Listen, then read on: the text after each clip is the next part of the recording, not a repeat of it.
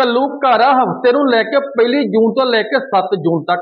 ਪੰਜਾਬ ਸੂਬੇ ਭਰ ਵਿੱਚ ਅਮਨ ਕਾਨੂੰਨ ਦੀ ਸਥਿਤੀ ਕਾਇਮ ਰੱਖਣ ਲਈ ਪੰਜਾਬ ਭਰ ਵਿੱਚ ਪੰਜਾਬ ਪੁਲਿਸ ਅਲਰਟ ਤੇ ਹੈ।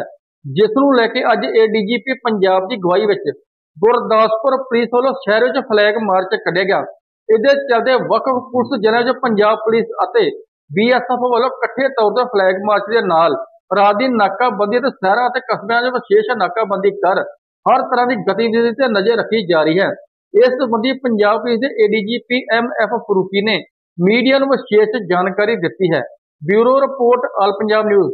ਜਿਹੜਾ ਇਹ ਫਲੈਗ ਮਾਰਚ ਹੋ ਰਿਹਾ, ਇਹ ਉਹ ਸਾਰੇ ਪ੍ਰਬੰਧ ਦਾ ਹਿੱਸਾ ਹੈ, ਜਿਹਦਾ ਪਹਿਲੀ ਤਾਰੀਖ ਤੋਂ ਲੈ ਕੇ 7 ਤਾਰੀਖ ਤੱਕ ਪੰਜਾਬ ਪੁਲਿਸ ਪੂਰੇ ਪ੍ਰਦੇਸ਼ ਵਿੱਚ ਕਰ ਰਹੀ ਹੈ।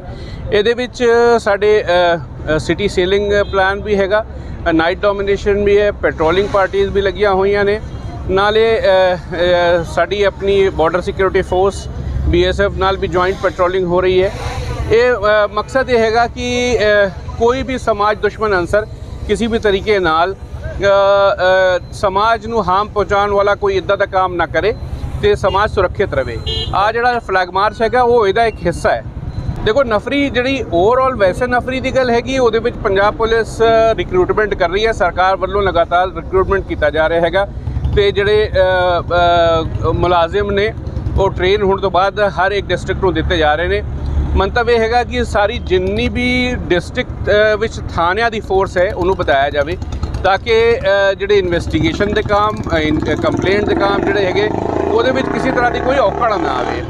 ਸਾਰਿਆਂ ਨੂੰ ਅਪੀਲ ਇਹ ਹੈਗੀ ਕਿ ਸੰਵਿਧਾਨਿਕ ਤਰੀਕੇ ਨਾਲ ਜੋ ਕਿਸੇ ਦਾ ਕੋਈ ਰਾਈਟ ਬੰਦਾ ਹੈਗਾ ਜੇਕਰ ਉਹਨੂੰ ਆਪਣੇ ਉਹਨੂੰ ਕਰਨਾ ਚਾਹੁੰਦੇ ਨੇ ਕੋਈ ਵੀ ਪਬਲਿਕ ਮੀਟਿੰਗ ਕਰਨੀ ਚਾਹੁੰਦੇ ਨੇ, ਕੋਈ ਸਪੀਚ ਦੇਣਾ ਚਾਹੁੰਦੇ ਨੇ, ਉਹ ਸੰਵਿਧਾਨਿਕ ਦਾਇਰੇ 'ਚ ਹਰ ਇੱਕ ਸਿਟੀਜ਼ਨ ਨੂੰ ਇਹਦਾ ਅਖਤਿਆਰ ਹੈਗਾ।